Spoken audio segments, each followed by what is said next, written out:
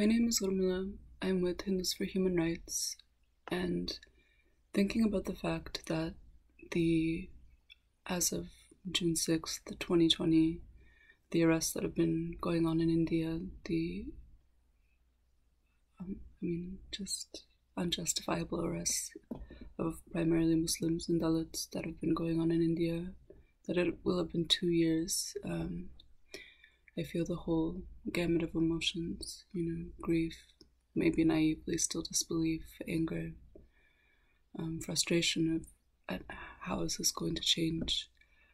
Um, because two years is a significant increment of of hum of our human lives, and at the same time, it feels when these arrests are still happening, despite everything, it feels like we've stalled. You know, feels like no time has passed, which can feel disheartening. Um, so I wanted to share one poem that is somewhat grimly heartening by a poet called um, Cesar Vallejo, and it's called Masses.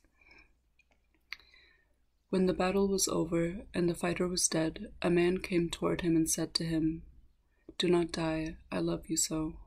But the corpse, how sad, went on dying.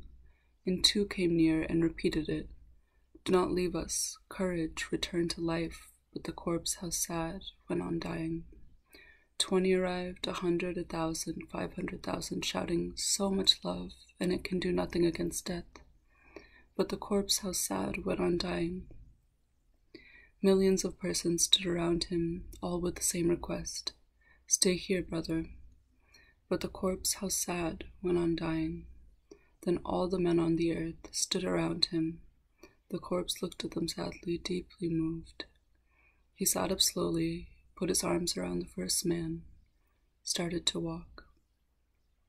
And this poem always reminds me that despite everything, it's amazing the people who, despite the threat of arrest, continue to fight, and it's amazing that we still have the power to rally around them, um, and we, and we can and we do.